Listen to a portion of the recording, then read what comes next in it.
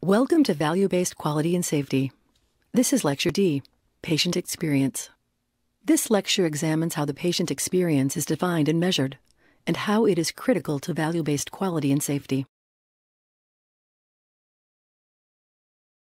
The objectives for this lecture, Patient Experience, are to understand and define what patient experience is, describe how patient experience dictates quality, State the factors identified as key to a positive patient experience.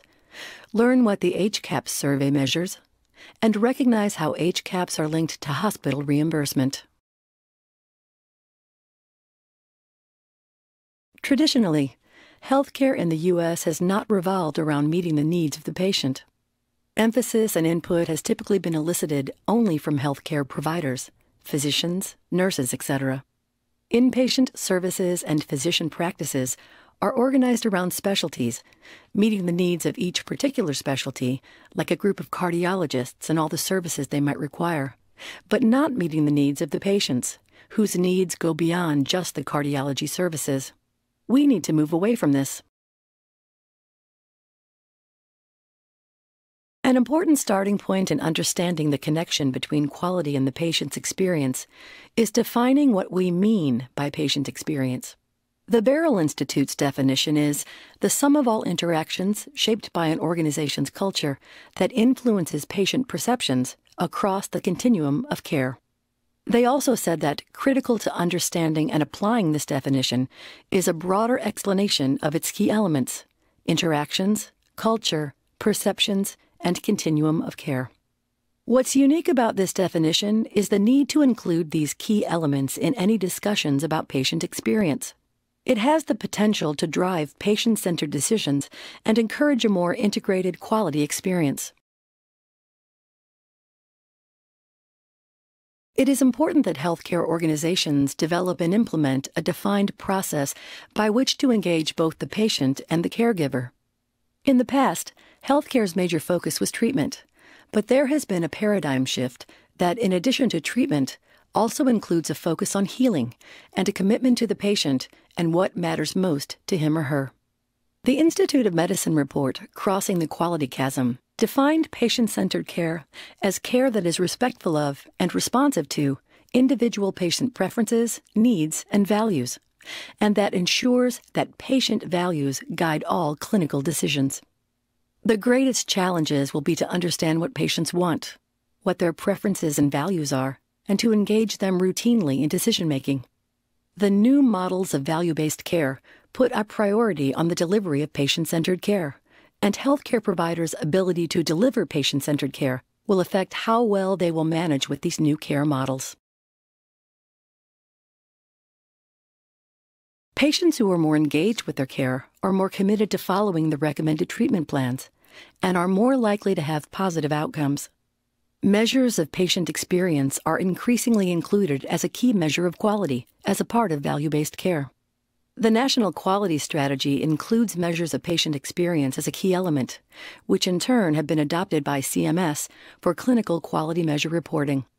Even though patient experience is increasingly used as a quality metric, patients themselves are not looking at experience of care when making choices about their healthcare provider. Less than 10% of those responding in 2004 said they used quality information when choosing their hospital or doctor. 11 years later, only 4% of respondents stated they used quality information when choosing hospitals. 6% in the same survey said they used quality information when choosing their doctors. Doyle and colleagues found a positive association between patient experience and both clinical effectiveness and patient safety. Other studies have found similar results. The study by Doyle et al., which summarized evidence from 55 studies, stated that the data indicates consistent positive associations between patient experience, patient safety, and clinical effectiveness for a wide range of disease areas, settings, outcome measures, and study designs. It demonstrates positive associations between patient experience and self rated physical health and mental health, and objectively measured health outcomes ulcer disease, hypertension, breast cancer, survival one year after discharge, and inpatient mortality from myocardial infarction.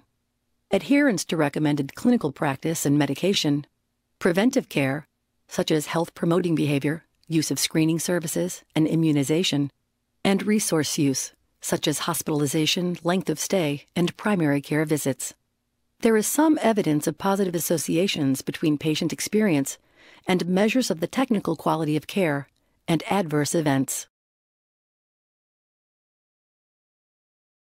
Public reporting is important for healthcare consumers to obtain comparative data on costs, outcomes, and patient satisfaction.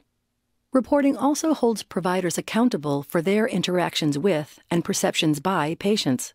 Public data is an important resource for clinicians and hospitals to improve performance. For over 20 years, consumers have been able to compare health insurance plans using the publicly reported Healthcare Effectiveness Data and Information Set, or HEDIS.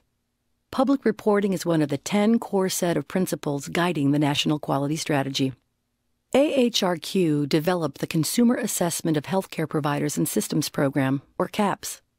CMS requires hospitals to report patient experience information using HCAHPS in order to qualify for Medicare payments. The federal government also established the Patient Centered Outcomes Research Institute, PCORI, which expands the work of AHRQ and NIH to assist all stakeholders, patients, clinicians, and policymakers, in making informed healthcare decisions. The ACA requires that the priorities for PCORI align with the national quality strategy and that consumer input influence all phases of sponsored research.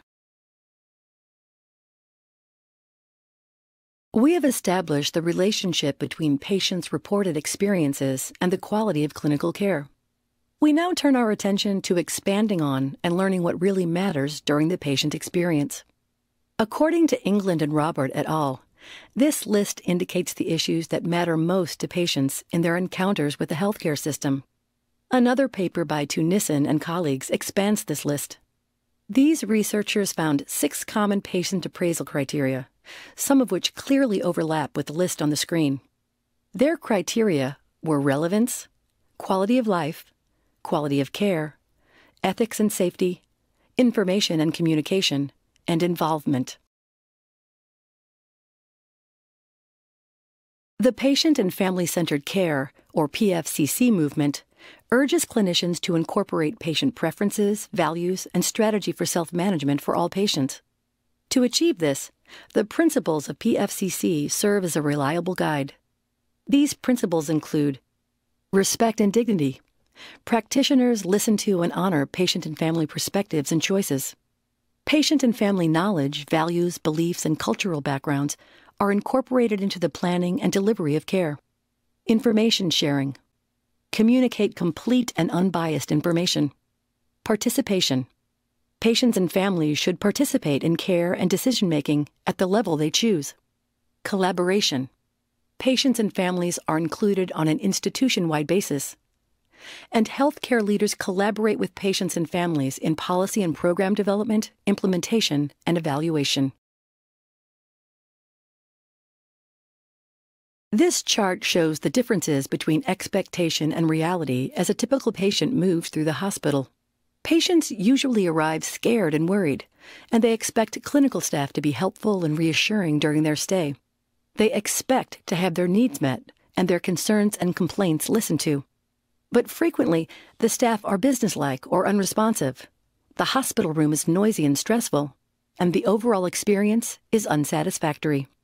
It points out the importance of managing expectations and closing the gap between the hope that patients have when they come into the hospital and the realization they are stuck with when they leave. We certainly have work to do. CAHPS stands for Consumer Assessment of Healthcare Providers and Systems. CAHPS includes a group of surveys to obtain data from healthcare consumers on their experiences with services in different settings. For example, settings would include hospitals, home health, and hospice, as well as individuals and groups participating in CMS initiatives, such as ACOs. The Agency for Healthcare Research and Quality oversees CAHPS survey development and approval by the CAHPS Consortium. According to AHRQ, all CAHPS surveys undergo a rigorous development process to confirm the validity and reliability of the surveys. And ensure that survey results are comparable across users. Health plans and individual providers can use specific CAHPS questions to identify areas of care that are strong, as well as those that need improvement. Many private consultants, such as Press Ganey, combine the required CAHPS questions with other patient centered questions to provide a more comprehensive view of the overall patient experience. Note, however, that the patient's experience of care is included in all of these surveys. These questions represent areas that both patients and providers have indicated are determinants of a good provider visit. These areas include patient centeredness, timeliness, accessibility, and communication. Interestingly, CAHPS is not a satisfaction survey. It measures the patient's descriptions of staff behaviors. The survey contains 32 questions, including 21 patient perspectives on care, in addition to the four screener and seven demographic items. The screener questions and demographic questions are used to adjust the mix of patients across hospitals and for analytical purposes. As the CAHPS website explains, while the terms are sometimes used interchangeably, patient experience is quite different from patient satisfaction. Patient satisfaction can vary due to differing expectations. That is, patients who have similar experiences but different expectations can have very different levels of satisfaction. CAHPS surveys focus on patient experience of care. The surveys do ask respondents to provide overall ratings, for example, to rate their doctor on a 0 to 10 scale. But their primary focus is on asking patients to report on their experiences with specific aspects of care in order to provide information that is not biased by different expectations. For example, respondents are asked to report whether, or how often, specific events or behaviors that are indicators of healthcare quality occurred. Reports about events and behaviors are more understandable, unambiguous, actionable, and objective than general ratings. The use of HCAHPS, which is the hospital based survey, has been incentivized by the Inpatient Prospective Payment System since 2007 and is also included in the value based incentives of the Affordable Care Act. According to CMS, CAP surveys are an essential part of their efforts to improve healthcare in the U.S. The CMS website explains that some CAHPS surveys are used in value based purchasing or pay for performance initiatives. These initiatives represent a change in the way CMS pays for services. Instead of only paying for the number of services provided, CMS also pays for providing high quality services. The quality of services is measured clinically, administratively, and through the use of patient experience of care surveys. This concludes Lecture D Patient Experience. Patient experience, always important to the patient and tangentially to the healthcare provider, has moved center stage. The patient experience is now considered a critical element of the provision of healthcare. Research has shown that a positive patient experience is consistently associated with better care outcomes. A positive patient experience is value adding throughout the value chain. It is key in adding value to any product produced. The HCAHPS survey was discussed and is used as a standardized survey instrument to gather comparable patient experience information nationwide. Linking the patient experience to financial reimbursement reinforces the importance of the patient experience and pushes healthcare organizations toward better quality.